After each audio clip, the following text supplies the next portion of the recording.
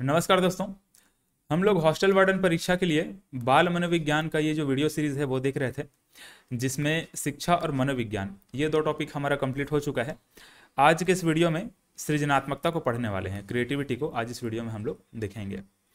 इस वीडियो का पीडीएफ हमारे एप्लीकेशन में अपलोड कर दिया जा रहा है। स्टडी मटेरियल वाले सेक्शन में जाकर चेक करेंगे तो वहाँ पर सारा का सारा पीडीएफ टॉपिक वाइज वहाँ पर अपलोड किया जा रहा है। तो वहाँ से आप इसको डाउनलोड कर सकते हैं। एप्लीकेशन का लिंक हमारे इस वीडियो के डिस्क्रिप्शन में आपको मिल जाएगा। चलिए, इसके अलावा हमारे ऐप में आपको ये जो हॉस्टल वार्डन का टेस्ट सीरीज़ है, वो देखने को मिल जाएगा। वन फोर्टी नाइन रुपीज़ इसका रजिस्ट्रेशन चार्ज रखा गया है पेमेंट करके वहाँ पर आप लोग इसको ज्वाइन कर सकते हैं। और कोई भी जानकारी चाहिए होगा तो ये हमारा व्हाट्सअप नंबर है, इसमें आपको संपर्क करके पूछ लेना है। चलिए तो यहाँ पर ये जो क्रिएटिविटी है, सृजनात्मकता है, समझते हैं इसको। पहले कुछ यहाँ पर इस प्रकार से थियोरिटिकल चीज़ें हैं, उसको हम लोग देखेंगे कि क्रिएटिविटी क्या है, इसको कैसे कैसे परिभाषित किया गया है, इसके कौन कौन से और जो भी विशेषताएँ वो सबको देखेंगे। और फिर इसके बाद यहाँ पर बहुत सारा क्वेश्चन है। ये सभी क्वेश्चन को हम लोग प्रैक्टिस करेंगे। ये आपका UP TET C G TET C TET या फिर जो सी जी व्यापम द्वारा जितने भी क्वेश्चन पूछे गए हैं वही सभी क्वेश्चन को हम लोग यहाँ पर देखते हैं।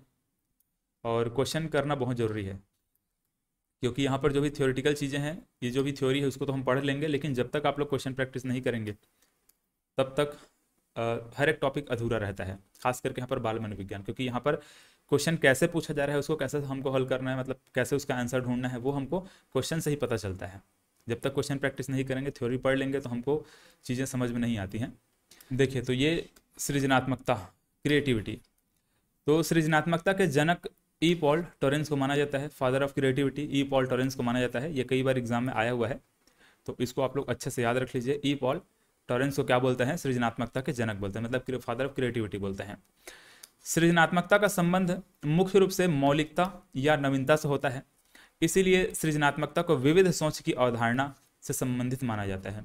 विविध सोच की अवधारणा मतलब कि डाइवर्जेंट थिंकिंग किसी प्रॉब्लम का सॉल्यूशन आप कितने तरीके से ढूंढ सकते हैं, कितने तरीके से उसके बारे में आप सोच सकते हैं, उसी से उसको यहाँ पर बोला जा रहा है। विविध सोच की अवधारणा मतलब कि डाइवर्जेंट थिंकिंग ठीक है? आगे और भी ये चीज़ें हम देखने वाले हैं। अब जैसे यहाँ पर ये बच्चे खेल रहे हैं बच्चों को कुछ ऐसे यहाँ पर खिलौने दिए गए हैं जिससे उनका क्रिएटिविटी बढ़े। बहुत सारे मार्केट में आपको ऐसे भी खिलौने देखने को मिल जाएँगे, जिसको आप इस प्रकार जैसे खिलौने होते हैं ना, जिसको अलग अलग भाग में उसको तोड़ा जा सकता है। अलग अलग भाग में उसको अलग अलग पार्ट्स किया जा सकता है और फिर उसको बच्चों को दोबारा दिया जाता है कि बच्चे उसमें अपना क्रिएटिविटी लगा करके उसको फिर से फिर से जोड़ करके जो खिलौना था उसको पुनः वैसा के वैसा बनाते। ठीक है? ऐसे टाइप से बहुत सारे खिलौने होते हैं। जैसे कि आप इंडिया का मैप ले लीजिए। इंडिया का मैप का ही बहुत सारे आपको खिलौना देखने को मिल जाएगा। जिसमें अलग अलग जो राज्य हैं, सभी राज्यों को अलग अलग कर दिया जाता है और बच्चों को दोबारा उसको दिया जाता है कि जहाँ जहाँ पे जो जो राज्य है उसको फिर से वहाँ पर अरेंज करके वहाँ पर जमाया जाए, ऐसे टाइप से। तो ये बहुत सारे खिलौने होते हैं मार्केट में जिसके माध्यम से बच्चों की क्रिएटिविटी को बढ़ाया जाता है। तो वही चीज़ बोला जा रहा है यहाँ पर डाइवर्जेंट थिंकिंग मतलब विविध सोच की जो अवधारणा होता है वही क्रिएटिविटी से संबंधित होता है। नवीन विचार नवीन विचार का सृजन मतलब कि जो भी हमारे जो नया जो थिंकिंग प्रोसेस है, नया जो थॉट है, उसका सृजन होना उत्पादन, मौलिक चिंतन, सृजनात्मकता का आवश्यक गुण होता है। ठीक है तो इसको भी ध्यान में रखेंगे। कौन कौन सा चीज़ होता है जो कि जो सृजनात्मकता होता है, उसका आवश्यक गुण है? तो नवीन विचार का सृजन, उत्पादन, मौलिक चिंतन, ये सभी सृजनात्मकता का आवश्यक गुण के रूप में हमको देखने को मिलता है। चलिए, अब इसके बाद देखिए।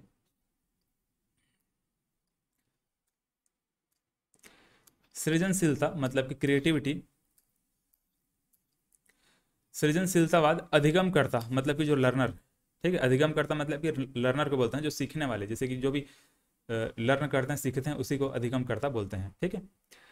तो सृजन सृजनशीलतावाद अधिगमकर्ता को मतलब कि लर्नर को, सीखने में अधिक स्वतंत्रता प्रदान करता है, ठीक है? अधिक स्वतंत्रता प्रदान करता है, जिससे वह नए नए प्रयोग कर सरलता से अधिगम करता है। मतलब कि जो डाइवर्जेंट थिंकिंग है, किसी भी प्रॉब्लम का सॉल्यूशन आपको अगर ढूंढना है या फिर किसी भी प्रॉब्लम को आपको सॉल्व करने के लिए सीखना है तो आपको जितने डिफरेंट तरीके से वहाँ पर सॉल्यूशन उसका दिया जाए डिफरेंट तरीके से आपको सोचने का मौका दिया जाए कि आप ऐसे भी कर सकते हैं, आप वैसे भी कर सकते हैं, वैसा भी हो सकता है, वैसा भी हो सकता है, उतने ही बेहतर तरीके से उन चीज़ों को आप सीख सकते हैं। तो वही चीज़ को बोला जा रहा है कि अगर लर्नर को मतलब अधिगमकर्ता को अधिक स्वतंत्रता दिया जाए, सीखने में अधिक स्वतंत्रता अगर उसको दिया जाए तो डिफरेंट तरीके से सोचेगा और नए नए प्रयोग करके सरलता से उस चीज़ को सीख लेगा, ठीक? अब देखो, एक वैज्ञानिक है, एक मनोवैज्ञानिक है, क्रो एंड को क्रो एंड क्रो नाम का एक वैज्ञानिक है। तो इन्होंने जो क्रिएटिविटी है, उसका एक परिभाषा दिया है। मतलब जो सृजन मतलब सृजनशीलता है, जो क्रिएटिविटी है, उसके बारे में एक परिभाषा इन्होंने दिया हुआ है। अब ये परिभाषा हिंदी, इंग्लिश मैंने दोनों में लिखा हुआ है तो दोनों को एक बार पढ़ लीजिएगा, क्योंकि दोनों को पढ़ना ज़रूरी है, क्योंकि एग्ज़ाम में जब इसका क्वेश्चन आता है तो बहुत बहुत जगह ऐसा होता है जहाँ पर हिंदी में समझ नहीं आएगा, आपको इंग्लिश में पढ़ना होगा, इंग्लिश में समझ नहीं आएगा तो हिंदी में पढ़ना होगा। तो देखो, क्या बोला जा रहा है? सृजनशीलता मौलिक परिणामों को व्यक्त करने की मानसिक क्रिया है। ठीक है, मौलिक परिणामों को व्यक्त करने की मानसिक प्रक्रिया है, ऐसे भी कह सकते हैं। तो जो क्रिएटिविटी होता है, वो मौलिक परिणामों को व्यक्त करने की मानसिक प्रक्रिया होता है। ये क्रो एंड क्रो ने कहा है। ठीक है, क्या चीज़ है? Creativity creativity is a mental process to express the original outcome creativity creativity is a mental process to express the original outcome ठीक है, ये परिभाषा को याद रखेंगे एग्ज़ाम में आ चुका है। आगे इसका क्वेश्चन भी आपको देखने को मिलेगा। देखिए, अब इसके बाद out of the box out of the box की क्या चीज़ है ये? आउट ऑफ़ द बॉक्स चिंतन, अब सारी चिंतन मतलब कि डाइवर्जेंट थिंकिंग से संबंधित है। आउट ऑफ़ द बॉक्स का मतलब आप क्या समझ रहे हैं? आउट ऑफ़ द बॉक्स का मतलब यहाँ पर डाइवर्जेंट थिंकिंग से है। मतलब कि अगर कोई भी प्रॉब्लम आपके सामने है, उसको आप कितने तरीके से सोच सकते हैं? मतलब कि कोई बहुत सारा प्रॉब्लम ऐसा होता है कि अब जब इसको सॉल्व करने के लिए बैठे अब सिर्फ़ मैथ्स का प्रॉब्लम नहीं ना, किसी भी तरीके से प्रॉब्लम हो सकता है। तो मान कर चलिए पाँच सात लोगों का ग्रुप है। पाँच सात लोग कहीं पर घूमने गए हैं, कुछ सामने में उनका प्रॉब्लम आया, अब उस प्रॉब्लम को सॉल्यूशन नहीं मिल पा रहा है। जंगल में फंस गया, फिर कुछ और चीज़ हो गया, फिर और जो भी चीज़ें हैं, अब उस प्रॉब्लम को सॉल्यूशन नहीं कर पा रहे हैं, नहीं उनको मिल पा रहा है। लेकिन उसमें से एक व्यक्ति आउट ऑफ़ द बॉक्स सोचता है मतलब कि उसका थोड़ा थिंकिंग क्या है डाइवर्जेंट थिंकिंग है, कुछ दूसरे तरीके से सोच करके उस प्रॉब्लम को सॉल्यूशन वहाँ पर ढूंढ लेता है, या फिर जो भी प्रॉब्लम फंसा है, उससे वो बाहर निकल कर ले आता है। तो इसी चीज़ को यहाँ पर बोला जा रहा है कि आउट ऑफ़ द बॉक्स जो चिंतन होता है आउट ऑफ़ द बॉक्स जो जो थिंकिंग होता है, वो अब सारी चिंतन मतलब कि डाइवर्जेंट थिंकिंग से संबंधित होता है, ठीक? ये बोला जा रहा है। अब यहाँ पर देखिए, एक वैज्ञानिक है गिलफोर्ड नाम का। ये वैज्ञानिक का नाम याद रखेंगे। तो गिलफोर्ड नाम का जो वैज्ञानिक है, उन्नीस सौ छियासी में इन्होंने ये जो क्रिएटिव थिंकिंग है जो क्रिएटिव जो थिंकिंग है इसको डाइवर्जेंट थिंकिंग के रूप में यहाँ पर हमको ये बताया। और इसमें कुछ चीज़ों के बारे में यहाँ पर बताया गया जिसको हमको याद रखना पड़ेगा। देखो यहाँ पर एक बार पढ़ो इसको क्या बोला जा रहा है। Guilford considered creative thinking is involving divergent thinking मतलब कि गिलफोर्ड ने क्या आ, मतलब क्या कंसिडर किया कि जो क्रिएटिव थिंकिंग होता है वो डाइवर्जेंट थिंकिंग में इन्वॉल्व होता है। मतलब कि हम जो डिफरेंट तरीके से सोच सकते हैं यहाँ पर जो था ना अब सारी चिंतन ठीक है अब सारी चिंतन ये जो अब सारी चिंतन होता है मतलब कि जो डाइवर्जेंट थिंकिंग होता है उसी में आ, मतलब कि उसी में इन्वॉल्व होता है जो क्रिएटिविटी है वो बोला जा रहा है। ठीक है मतलब ये क्रिएटिविटी में जो डाइवर्जेंट थिंकिंग होता है वो इन्वॉल्व होता है वो उसी के अंतर्गत निहित होता है आप ऐसे कह सकते हैं। Which consist four elements such as देखो, इसमें चार एलिमेंट होते हैं। ये जो क्रिएटिव थिंकिंग है, जिसमें डाइवर्जेंट थिंकिंग रूप में हम इसको देख रहे हैं, इसमें चार एलिमेंट होते हैं। एलिमेंट कौन कौन से हैं? फ्लुएंसी है मतलब कि प्रवाह है। फ्लेक्सिबिलिटी है मतलब कि लचीलापन है, या फिर विविधता है। ओरिजिनलिटी है मतलब कि मौलिकता है। और इलोबरेशन इलोबरेशन है मतलब कि विस्तारण है। अब ये चारों को आप अच्छे से रट लीजिए या फिर किसी भी तरीके से आप इसको याद रख लीजिए, क्योंकि बहुत सारा क्वेश्चन है जहाँ पर हमको ये देखने को मिलेगा। इस वैज्ञानिक का नाम भी याद रखेंगे? गिलफोर्ड। है ना? गिलफोर्ड। गिलफोर्ड। गिलफोर्ड के अनुसार यहाँ पर ये जो जो क्रिएटिव थिंकिंग है, इसके चार एलिमेंट हमको देखने को मिल रहे हैं। कौन कौन सा? फ्लुएंसी फ्लेक्सिबिलिटी ओरिजिनलिटी इलोबरेशन मतलब कि प्रवाह, लचीलापन, मौलिकता और विस्तारण। अब इसको याद रखने के लिए आप कुछ कुछ ट्रिक बना लीजिए या फिर किसी भी तरीके से इसको आप याद रख लीजिए। मानकर चले यहाँ पर इस प्रकार से एक हमारे पास ये इंक का बॉटल है। इंक का बॉटल या फिर जो पेंट होता है ना, घर में पेंट वगैरह करते हैं, उसका एक बॉटल है। इसमें इस प्रकार से पेंट अंदर में है। अब ये इस प्रकार से ज़मीन में गिर जाए। इसको मैं आपको याद करवाने, याद करने के लिए मैं बता रहा हूँ ना। इसका, इससे कोई संबंध नहीं, लेकिन आपको याद करने के लिए इसको मैं आपको समझा रहा हूँ। इस प्रकार से मान कर चलो, इंक ज़मीन में गिर गया। और ज़मीन में गिरेगा इस प्रकार से, ज़मीन में फैल जाता है ये। ऐसे फैल गया। अब इसको आपको देखो, इसमें कैसे रिलेट करके आपको इसको याद रखना है। अगर प्रवाह, देखो यहाँ पर प्रवाहित हो रहा है, इस प्रकार से क्या हो रहा है? प्रवाह हो रहा है। ये प्रवाह, लचीलापन मतलब फ्लेक्सिबल या अगर ये इंक जितना ही इसमें विस्कोसिटी रहेगा मतलब जितना कम विस्कोसिटी रहेगा, जितना ज़्यादा लचीलापन रहेगा, जितना ज़्यादा फ्लेक्सिबल रहेगा, उतना ही ज़्यादा क्या होगा? ये प्रवाह होगा। मतलब ये कह सकते हो लचीलापन यहाँ पर, ऐसे। लचीलापन ओरिजिनलिटी अगर ये जो यहाँ पर ये जो पेंट है, ये अगर ओरिजिनल है, क्या चीज़ है ये? ओरिजिनल है। ओरिजिनल है तो ये ज़्यादा इस प्रकार से क्या होगा? ये विस्तार होगा ऐसे कह सकते हैं। यहाँ पर विस्तार अब लिख लीजिए विस्तार, ज़्यादा इस प्रकार से फैलेगा। तो ये पेंट के थ्रू आप इसको याद रख सकते हैं। कहीं ना कहीं मुझे याद हुआ है, इसलिए मैंने आपको इसको समझाने की कोशिश किया है। तो अगर याद होता है तो याद रखिए, वरना डायरेक्ट आप लोग इसको याद रख सकते हैं। मतलब कि यहाँ पर अगर ये जो इंक है या फिर जो पेंट है वो प्रवाह हो जाए मतलब कि बह जाए। ठीक है? फ्लेक्सिबल है, ऐसे कह सकते हैं या फिर सॉरी फ्लुएंसी मतलब कि इसको अगर प्रवाहित कर दिया जाए, बहा दिया जाए तो इसमें क्या होगा? ये अगर जितना ही ज़्यादा लचीलापन रहेगा, उतना ही ज़्यादा क्या होगा? ये विस्तार होगा। मतलब कि उतना ही ज़्यादा ओरिजिनल है, आप ऐसे कह सकते हैं। ठीक है? तो इसको जैसे भी तरीके से आपको याद रखना होगा, याद कर लीजिएगा। जहाँ तक मुझे याद है, इसी तरीके से मैंने याद किया हुआ है तो मैंने आपको समझा दिया। बाकी आप लोग इसको देख लीजिए। चलिए तो ये किसने कहा था? गिलफर्ड ने। चार एलिमेंट इन्होंने दिया है क्रिएटिविटी के बारे में। अब इसके बाद एक वैज्ञानिक आते हैं, कौन? मतलब एक मनोवैज्ञानिक आते हैं ग्राहम वाल ग्राहम वाल्स है ना? ग्राहम वालस कह सकते हैं। ग्राहम वालस तो इनके अनुसार जो क्रिएटिव थिंकिंग होता है मतलब कि जो सृजनात्मक थिंक सृजनात्मक तक, सृजनात्मक चिंतन हो, जो जो होता है मतलब क्रिएटिव थिंकिंग जो होता है, इसके चरण बताए गए हैं। इसके चार चरण हमको बताए गए हैं। और ये चारों चरण बहुत इंपॉर्टेंट है ना।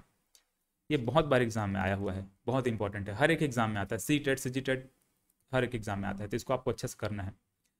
देखो, इसमें चार जो चरण है कौन कौन सा है? एक तो है उपक्रम मतलब कि प्रिपरेशन इसमें थोड़ा इंग्लिश में ज़्यादा ध्यान देंगे ना। पहला क्या है? प्रिपरेशन है इंक्यूबेशन है, ठीक है? दूसरे नंबर पे क्या है? इंक्यूबेशन इसको सीक्वेंस भी आपको ऐसे ही याद रखना पड़ेगा। प्रिपरेशन है इंक्यूबेशन है, उसके बाद इल्यूमिनेशन है, इसके बाद वेरिफिकेशन है। ठीक है? प्रिपरेशन इंक्यूबेशन इल्यूमिनेशन और वेरिफिकेशन देखो,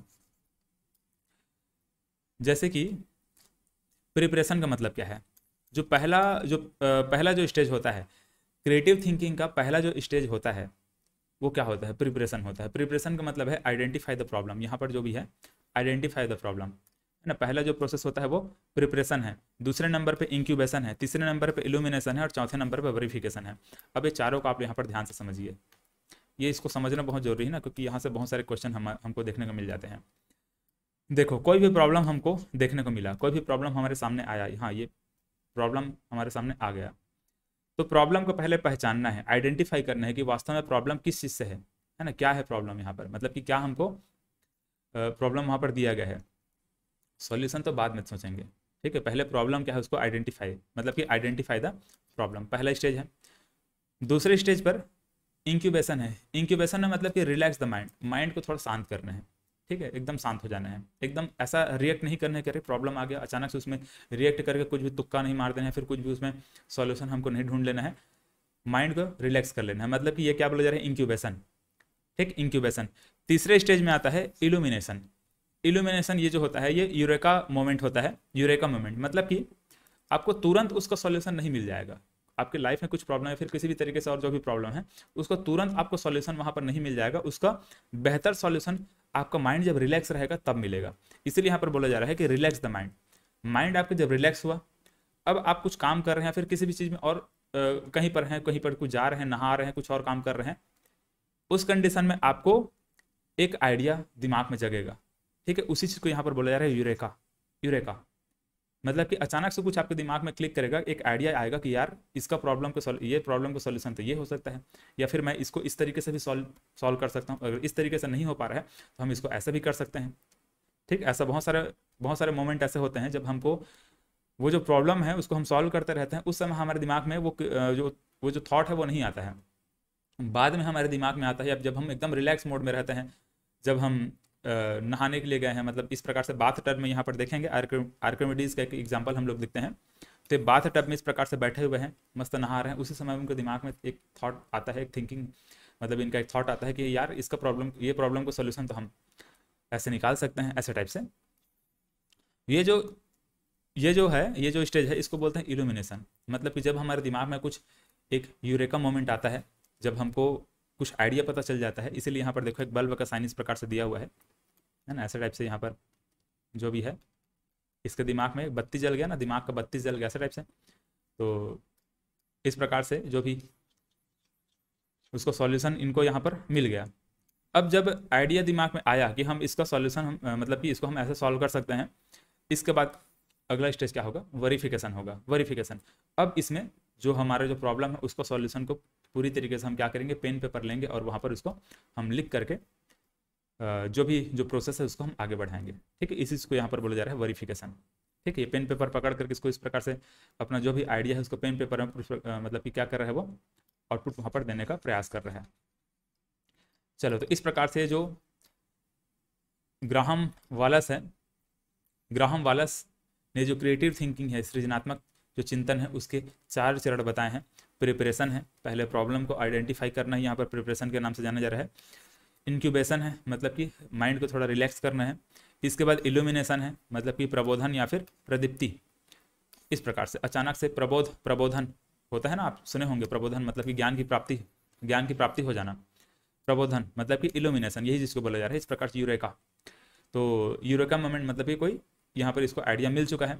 अब यहाँ पर वेरिफिकेशन मतलब कि लास्ट में जो प्रमाणीकरण है या फिर वेरिफिकेशन है, ये स्टेज रहेगा। ठीक है तो इस प्रकार से जो क्रिएटिव थिंकिंग है, इसके चार स्टेजेज बताए गए हैं। चार चरण बताए गए हैं, ध्यान में रखेंगे। चारों चरण को आपको याद रखना है। ये दो वैज्ञानिक हम लोगों ने देखा।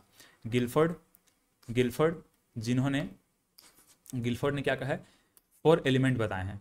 क्रिएटिव थिंकिंग का फोर एलिमेंट बताया है, जो कि डायरेक्ट यहाँ पर डाइवर्जेंट थिंकिंग से क्या होता है? रिलेटेड है। ये बोला जा रहा है। और यहाँ पर ग्राहम वालस ने क्या बताया कि जो क्रिएटिव थिंकिंग होता है, उसके चार चरण होते हैं। वो चारों चरण को हमको इस प्रकार से बताया गया। ये चीज़ हम लोगों ने यहाँ पर समझा। अब यहाँ पर देखिए क्रिएटिविटी को बढ़ाने के लिए कुछ विधियाँ यहाँ पर बताया गया है। सृजनात्मकता को बढ़ाने के कुछ विधियों के बारे में यहाँ पर हम बात करेंगे, जिसमें सबसे इम्पोर्टेंट ये शुरू के तीन विधियाँ हैं। जिसमें सबसे पहला तो ब्रेन विधि है, विचार मंथन विधि। ठीक है इंपॉर्टेंट है, याद रखेंगे इसको ना। क्रिएटिविटी बढ़ाने का जो सबसे इंपॉर्टेंट जो विधि है, वो कौन सा है? ब्रेन विधि है। इसको ओसबॉन नाम का एक जो मनोवैज्ञानिक है, उन्होंने दिया था। तो ब्रेन मतलब कि विचार मंथन विधि सबसे ज़्यादा इंपॉर्टेंट है। उसके बाद यहाँ पर ये क्या चीज़ है? सिनेक्टिक्स विधि सिनेक्टिक्स विधि। ठीक है, थोड़ा सा नाम अजीबो गरीब है, थोड़ा देख कर पढ़िएगा। तो सिनेक्टिक्स विधि है, इसको दिया था किसने? गार्डन ने दिया था। इसका सिक्स हेड विधि है डी बोनो ने दिया था।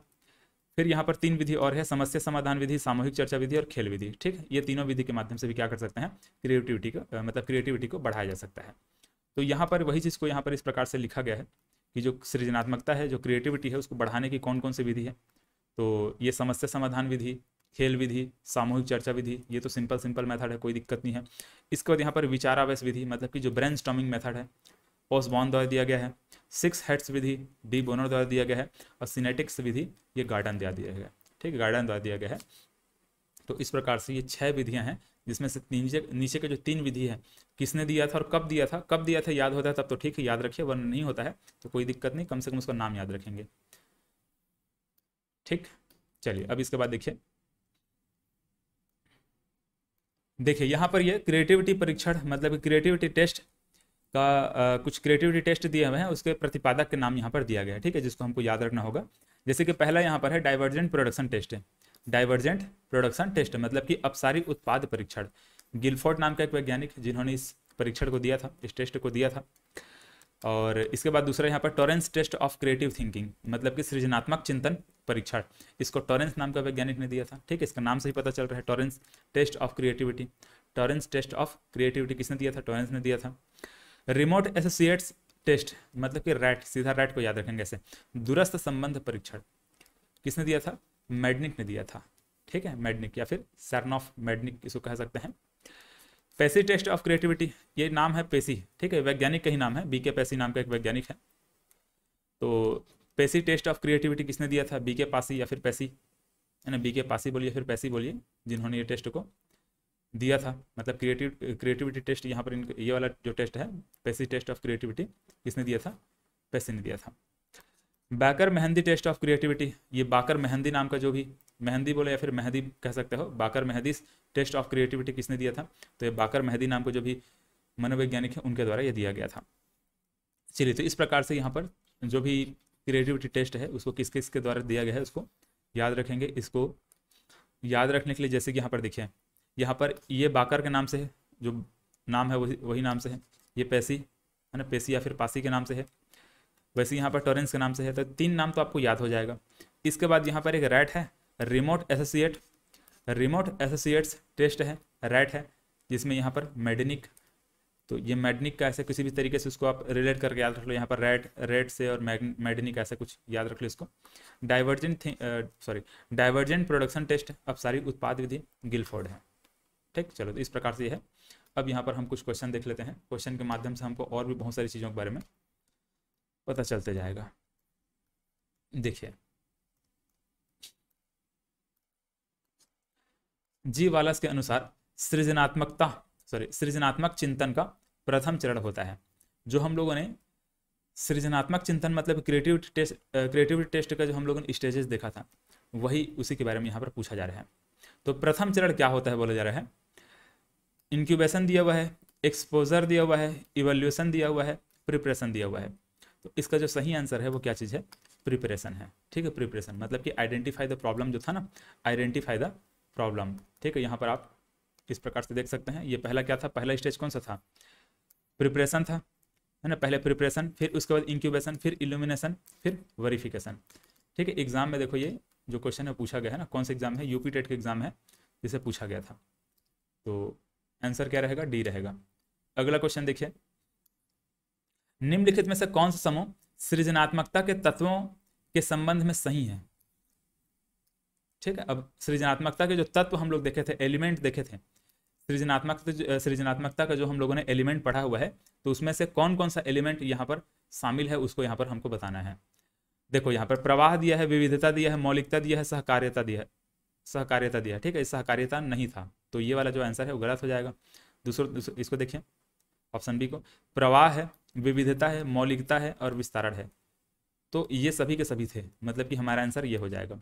बारंबारता, दिया था क्या? नहीं दिया था। प्रवाह, व्यवहार, ये भी हम लोग नहीं पढ़े हैं। देखो, इसको। ठीक क्या क्या है? प्रवाह है, विविधता है, मौलिकता है, विस्तारण है। यही चार हमारे ऑप्शन में था। ठीक है? फ्लुएंसी है फ्लेक्सिबिलिटी है ओरिजिनलिटी है इलोबरेशन है। ठीक है तो आंसर क्या हो जाएगा? बी हो जाएगा।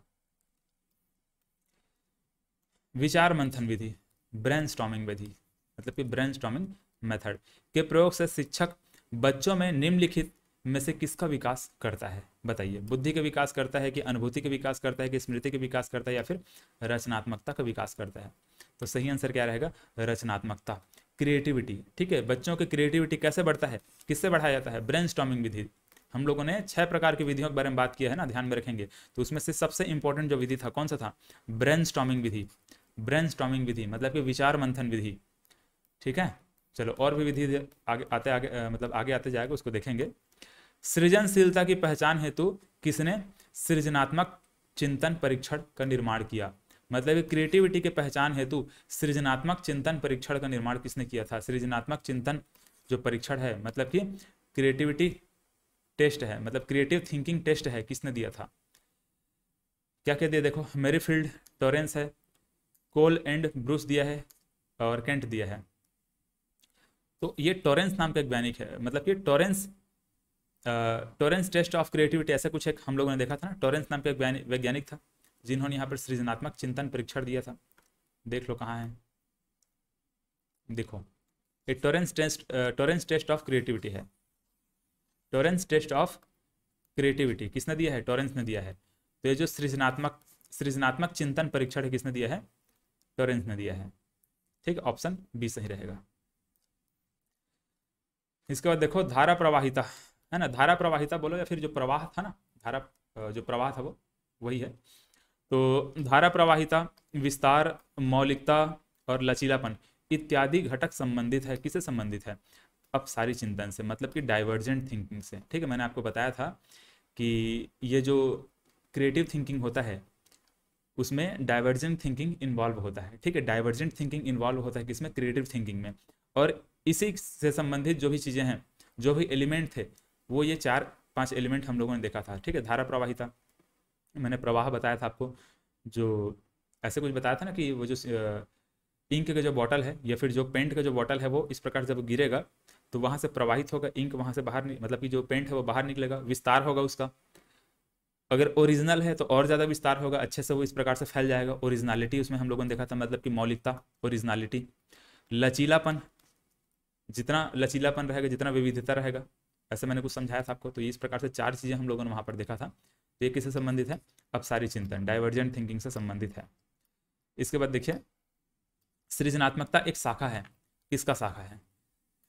औद्योगिक मनोविज्ञान, शिक्षा मनोविज्ञान, सामान्य मनोविज्ञान, व्यक्तित्व मनोविज्ञान। आंसर क्या रहेगा? व्यक्तित्व मनोविज्ञान। ध्यान में रखेंगे, व्यक्तित्व मनोविज्ञान।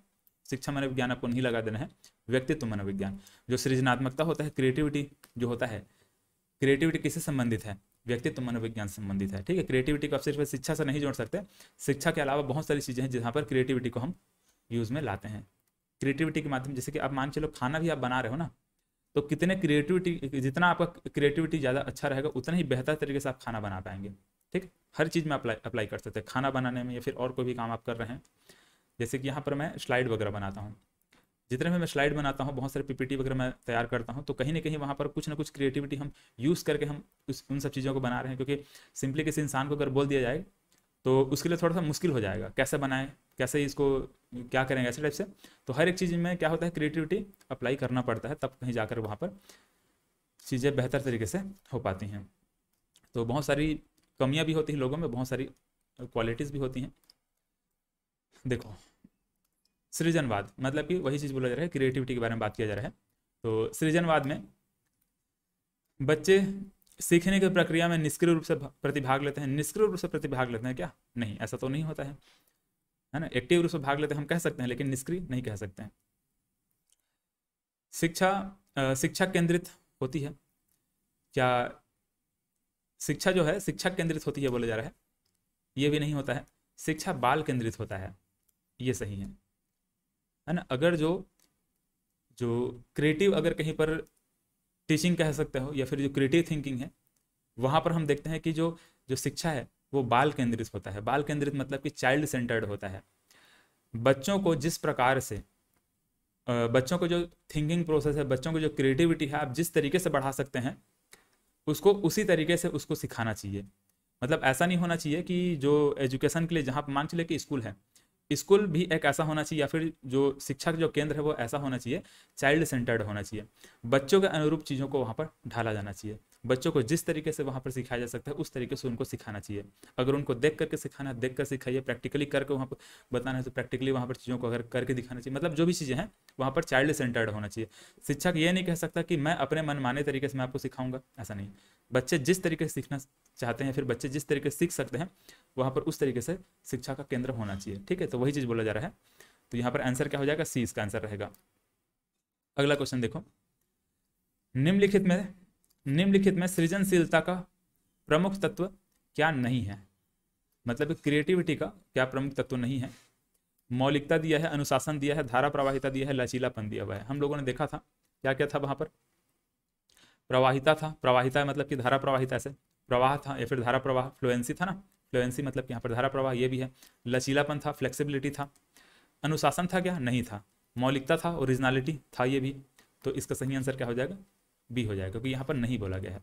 तो जो सृजनशीलता होता है, सृजनशीलता में यहाँ पर अनुशासन ज़रूरी नहीं रहता, अनुशासन में रहना ज़रूरी नहीं है। बिना अनुशासित रहे भी आप किसी भी चीज़ का सॉल्यूशन आप निकाल सकते हैं, किसी भी चीज़ के बारे में डाइवर्जेंट थिंकिंग कर सकते हैं, उसमें अपना क्रिएटिविटी दिखा सकते हैं। ठीक है, लेकिन क्रिएटिविटी में मौलिकता होना चाहिए मतलब कि ओरिजिनलिटी होना चाहिए। वास्तव में वैसा उसका सॉल्यूशन निकल पाएगा कि नहीं निकल पाएगा, ये भी होना चाहिए। ऐसा नहीं कि आप एकदम हवा में तीर मार रहे हैं, ऐसा नहीं होना चाहिए। धारा प्रवाह होना चाहिए, है ना? मतलब कि फ्लुएंसी उसमें होना चाहिए, लचीलापन होना चाहिए मतलब कि फ्लेक्सिबल होना चाहिए फ्लेक्सिबिलिटी उसमें होना चाहिए। इसके बाद देखो यहाँ पर, निम्नलिखित में से क्या? बच्चों के सृजनात्मकता के विकास में सहायक नहीं है, ठीक है? मतलब कि बच्चों के क्रिएटिविटी के विकास में क्या चीज़ सहायक नहीं होता है, इसको हमको बताना है। खेल सहायक होता है, भाषण सहायक होता है कि नहीं होता है? देखेंगे आगे।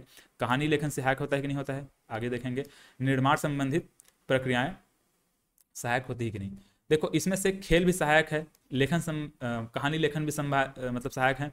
निर्माण संबंधी मतलब कि कुछ हम वहाँ पर कुछ चीज़ें बना रहे हैं, कुछ निर्माण कर रहे हैं, वो भी इसमें सहायक होती हैं। लेकिन यहाँ पर भाषण जो होता है, भाषण देना को हम यहाँ पर आंसर लेंगे क्योंकि भाषण देना क्रिएटिविटी थिंकिंग का कोई ऐसा कोई विशेष पार्ट हमको देखने को नहीं मिल रहा है मतलब नहीं देखने को मिलता है।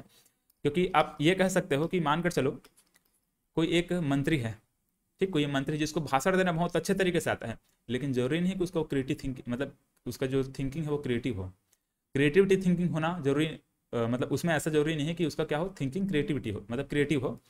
भाषण अच्छे से दे सकता है, लेकिन यह ज़रूरी नहीं कि उसको जो थिंकिंग है वो डाइवर्जेंट थिंकिंग हो। बहुत अच्छे तरीके से सोचे, किसी भी प्रॉब्लम का सॉल्यूशन निकाले ऐसा ज़रूरी नहीं होता है। ठीक है तो वही चीज़ बोला जा रहा है कि यहाँ पर भाषण ज़रूरी नहीं है, इसमें हो।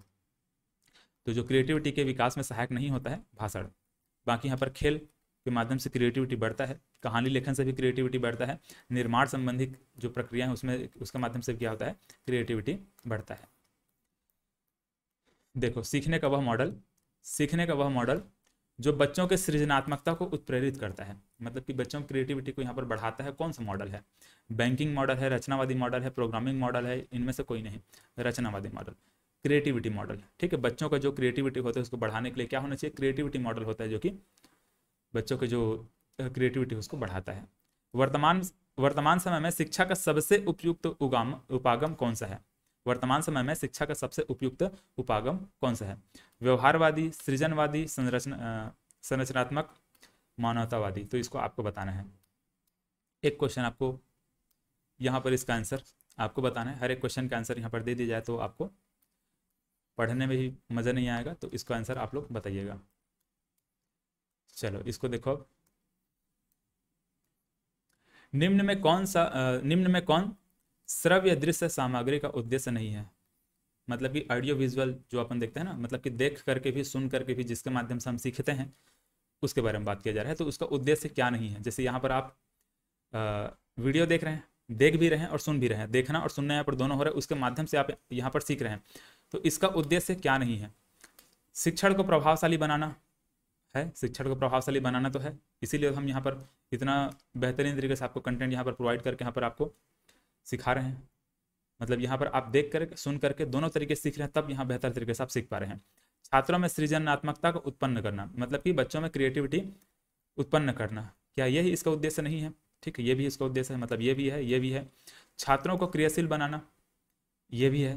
ठीक है, बच्चों बच्चों को क्रिएटिव बनाना ये भी इसका उद्देश्य है, लेकिन विषय वस्तु से अरुचि उत्पन्न करना ये इसका उद्देश्य नहीं है। ठीक है, रुचि उत्पन्न करना इसका उद्देश्य है, लेकिन अरुचि उत्पन्न करना क्या इसका उद्देश्य है? यहाँ पर जो ऑडियो विजुअल सॉरी यहाँ पर जो श्रव्य दृश्य सामग्री जो भी आपको यहाँ पर दिया गया है मतलब आप देख करके, सुन करके दोनों तरीके से आप सीख रहे हैं, क्या उसका उद्देश्य यह है कि विषय वस्तु को अरुचि बना दिया जाए? नहीं है। रुचिकर बनाना इसका मुख्य उद्देश्य है। चलिए, अगला क्वेश्चन देखिए। यदि आपकी कक्षा में सॉरी यदि आपकी कक्षा का कोई विद्यार्थी विद्यालय में होने वाले हर एक गतिविधि के विषय में जानने को उत्सुक रहता है तो उसके विषय में आपके विचार होंगे। अगर हर एक एक्टिविटी में कोई बच्चा जानने के लिए उत्सुक है पार्टिसिपेट करने के लिए उत्सुक है तो उसके बारे में आप क्या सोचेंगे? आप, आपके दिमाग में क्या ख्याल आएगा? कि वह बच्चा वह पिछड़ा विद्यार्थी है क्या आप ऐसा सोचेंगे? उसका पढ़ाई में मन नहीं लगता क्या ऐसा सोचेंगे? वह सृजनशील विद्यार्थी है मतलब क्या वो क्रिएटिव स्टूडेंट है? हाँ वह क्रिएटिव स्टूडेंट है। इसीलिए वह क्या करता है? हर एक गतिविधि में भाग लेने की कोशिश करता है और बेहतर परफॉर्म हर, ज़रूरी नहीं कि बेहतर परफॉर्म करे, लेकिन वहाँ पर हर एक गतिविधि में भाग लेने के लिए उत्सुक रहेगा, है ना? उसका क्या करेगा? क्रिएटिव उसका थॉट रहेगा, थोड़ा क्रिएटिव थिंकिंग उसके माइंड में रहेगा। देखो, अगला यहाँ पर क्वेश्चन देखो। वह योग्यता जिसके द्वारा नए संबंधों का ज्ञान होता है, इसकी उत्पत्ति में चिंतन के परंपरागत प्रतिमानों से हटकर अपसारी सॉरी अपसारी नहीं, असाधारण विचार। असाधारण विचार उत्पन्न होते हैं। मतलब यहाँ पर देखो, असाधारण विचार, इसी को आपको ध्यान देना है, ठीक है? असाधारण विचार उत्पन्न होते हैं। इसमें असाधारण विचार उत्पन्न होते हैं? सृजनात्मकता में, ठीक है? क्रिएटिविटी में क्या होता है? असाधारण विचार उत्पन्न होते हैं। मतलब वही जो डाइवर्जेंट थिंकिंग के बारे में बात कर रहे थे ना, अब सारी चिंतन के बारे में बात कर रहे थे, उसी चीज़ को यहाँ पर बताया जा रहा है। अगला देखो, रचनावादी दृष्टिकोण। रचनावादी दृष्टिकोण के अनुसार इनमें से कौन सा निर्माण सॉरी कौन सा ज्ञान निर्माण के लिए महत्वपूर्ण है? अनुकूलन, सूझ, विद्यार्थी का पूर्व ज्ञान या रटकर याद करना। इसका सही आंसर है विद्यार्थी का पूर्व ज्ञान। रचनावादी मॉडल के लिए,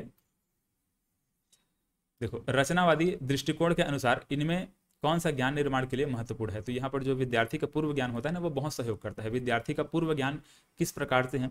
बच्चों का, जैसे कि हम एक छोटे से बच्चे अगर सही परिवेश में सही स्कूल में सही जगह पे उसको अगर पढ़ाया जाए उसका क्रिएटिविटी उतना ही ज़्यादा बढ़ेगा। उसको पूर्व ज्ञान मतलब कि प्रीवियस उसका जितना भी नॉलेज है वो काम आता है एट द पॉइंट अगर हमको कुछ क्रिएटिव चीज़ों को परफॉर्म करना है तो। ठीक है? तो यहाँ पर रचनावादी दृष्टिकोण के अनुसार जो भी था यहाँ पर विद्यार्थी का जो पूर्व ज्ञान है प्रीवियस जो नॉलेज है वो वहाँ पर सही आंसर है।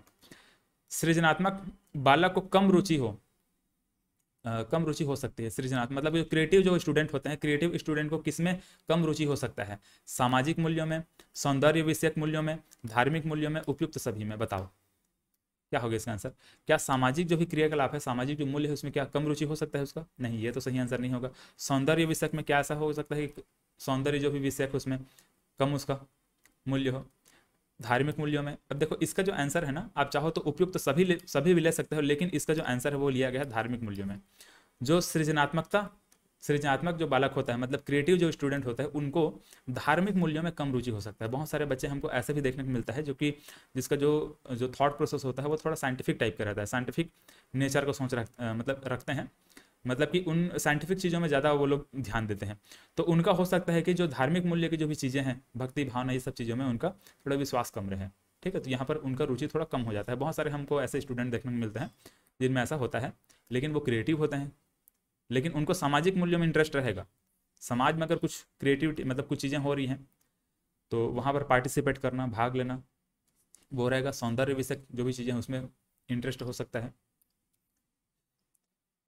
देखो, अगला यहाँ पर क्वेश्चन क्या बोल रहा है? निम्नलिखित में से किस प्रश्न के द्वारा सृजनात्मक चिंतन को सर्वाधिक अच्छे ढंग से अनुमानित किया जा सकता है? अब हमको क्रिएटिव थिंकिंग को अनु मतलब कि पता लगाना है किसी बच्चे में। क्रिएटिव थिंकिंग के बारे में हमको पता लगाना है तो किस तरीके से हम वहाँ पर प्रश्न करें कि हमको पता चलेगा कि कौन बच्चे किस प्रकार से सोचता है। इसे कौन बता सकता है? अब हमको किसी बच्चे से क्वेश्चन करना है मतलब क्लासरूम में हम खड़े हुए हैं, अब हम पूछ रहे हैं, किसी क्वेश्चन का हमको सॉल्यूशन ढूंढना है, फिर किसी प्रॉब्लम का हमको सॉल्यूशन वहाँ पर ढूंढना है। तो हम बच्चों से अलग अलग तरीके से क्वेश्चन करेंगे। जैसे कि हम ये कर सकते हैं, इसे कौन बता सकता है? मतलब कि ये क्वेश्चन का आंसर कौन बता सकता है? हम ऐसा क्वेश्चन करेंगे। सही उत्तर बताएँ, बच्चों को हम बोलेंगे इसका सही उत्तर बताइए। क्या आप इसका उत्तर बता सकते हैं? हम ऐसा ही बच्चों कह सकते हैं। और और क्या कह सकते हैं? इसे कितने अलग अलग तरीक़ों से हल किया जा सकता है? तो अगर हम बच्चों से पूछते हैं ना कि इसे हम कितने अलग अलग तरीके से हल कर सकते हैं, ये वहाँ पर ज़्यादा उपयुक्त है। कोई एक प्रॉब्लम हमारे पास आया अब बच्चों से हम पूछ पूछ रहे हैं, बताओ ये प्रॉब्लम का सॉल्यूशन कितने अलग अलग तरीके से कौन कौन बता सकता है? ठीक, ऐसा अगर हम क्वेश्चन करते हैं तो ये ज़्यादा उपयुक्त रहेगा। ठीक है? तो ये हम क्या कह सकते हैं कि जो सृजनात्मक चिंतन होता है, जो क्रिएटिव जो क्रिएटिव थिंकिंग होता है क्रिएटिव जो थिंकिंग होता है, उसको सर्वाधिक अच्छे ढंग से अनुमानित इसके माध्यम से हम कर सकते हैं। चलिए देखिए, इसके बाद यहाँ पर बाल्यावस्था में सृजनात्मकता की अभिव्यक्ति किस रूप में किस स्वरूप में किया जा सकता है? नाटकीय खेल द्वारा, रचनात्मक खेल द्वारा हाथ से भाव द्वारा, उपयुक्त सभी द्वारा, इसका सही आंसर क्या रहेगा? रचनात्मक खेल द्वारा मतलब क्रिएटिव जो खेल रहेगा, उसके माध्यम से किया जा सकता है। किसी बालक में आप क्रिएटिविटी का पता लगाना है क्रिएटिविटी के अभिव्यक्ति का स्वरूप आपको पता करना है तो आप कैसे कर सकते हैं? उससे क्या क्वेश्चन करेंगे या फिर क्या कर सकते हैं? तो वहाँ पर जो क्रिएटिव खेल रहा है, जैसे कि वहाँ पर मैं दो बच्चियों का वहाँ पर आपको इमेज दिखाया था ना, वो कुछ कुछ खिलौने से खेल रही थी। उसके माध्यम से आप कर सकते हैं।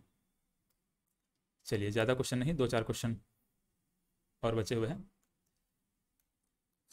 रचनात्मक, एक मिनट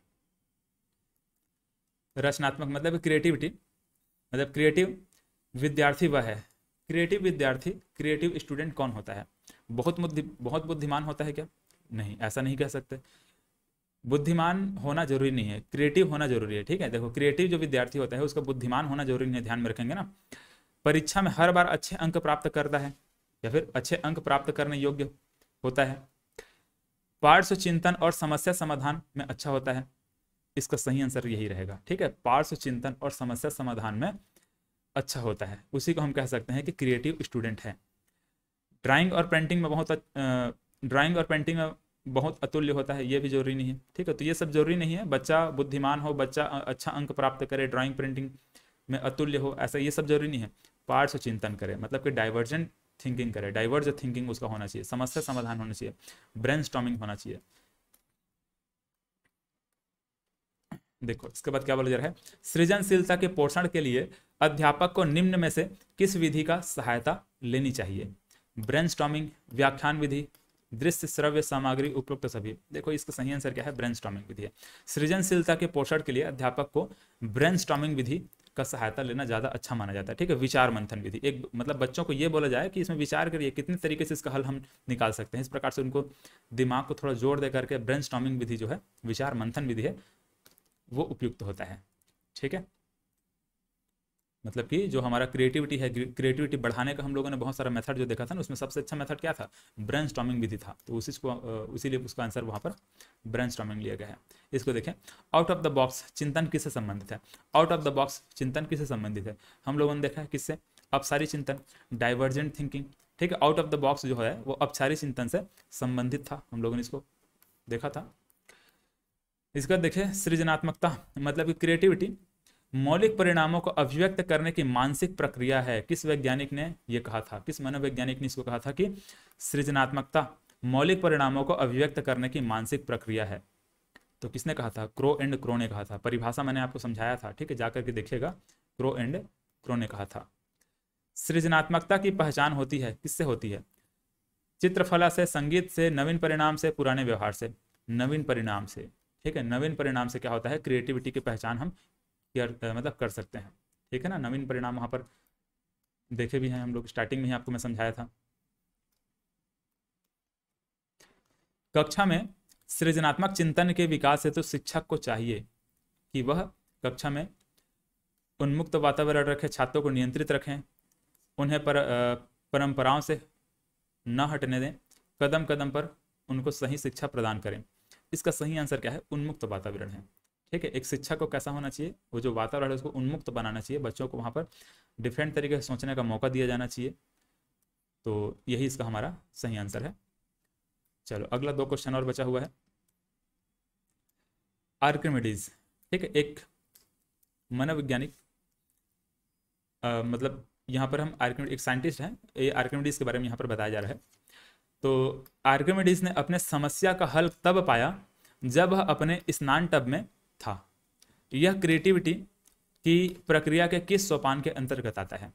हम लोगों ने क्रिएटिविटी के अलग अलग क्या देखा था?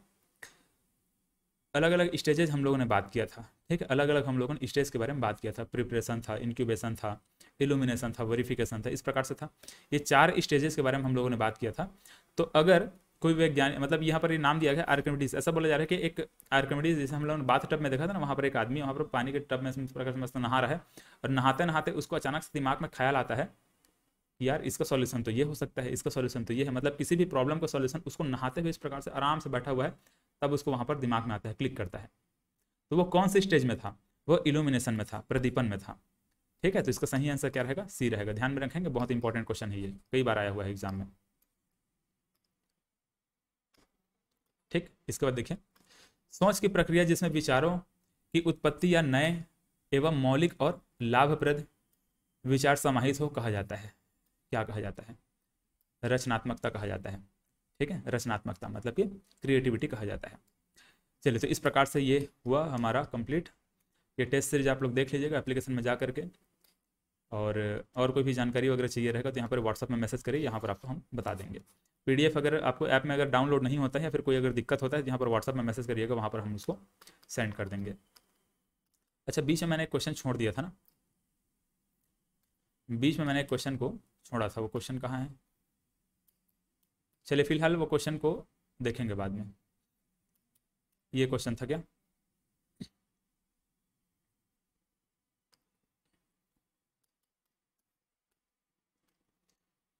वर्तमान समय में शिक्षा का सबसे उपयुक्त उगाम, उपागम कौन सा है? वर्तमान समय में शिक्षा का सबसे उपयुक्त उपागम कौन सा है? सृजनवादी उपागम। ठीक है? क्रिएटिव जो उगाम, उपागम है, उसके बारे में बात किया है तो इसका सही आंसर क्या रहेगा? बी रहेगा। चलिए तो आज की क्लास यहीं पे समाप्त करते हैं। अब अगले क्लास में जो भी और हमारा टॉपिक है उसको कवर करेंगे। धन्यवाद।